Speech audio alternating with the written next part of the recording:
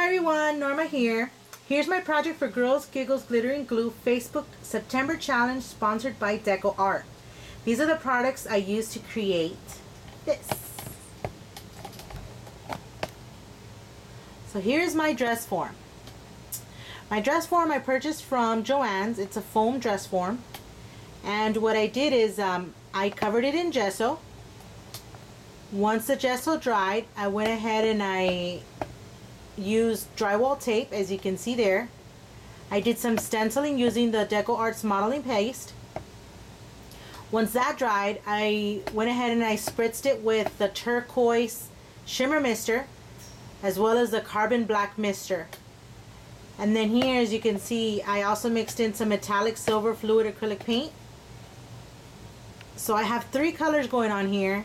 And on some areas, specifically towards the bottom, I I hit it with some uh, some gesso and water just to line it up a little bit.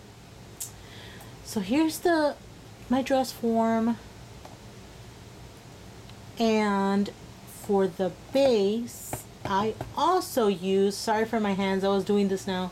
I also use the turquoise mister as well as the carbon black um, mister. As you can see, it came out great and it doesn't come off so that's awesome. So this is the side. The embellishments are all from uh, bead landing the metals I mean. The chain I, I created it. It's got wild orchid craft um, flowers.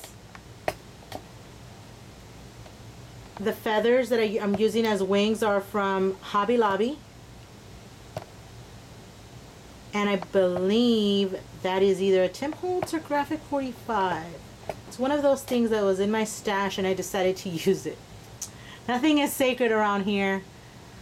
So yes, so this is the project that I came up with and it was really, it was really a lot of fun. I sprayed everything and everywhere and I was just going crazy. It's amazing. I love this stuff. Thanks guys for watching and I hope this inspires you to make your own mixed media dress form.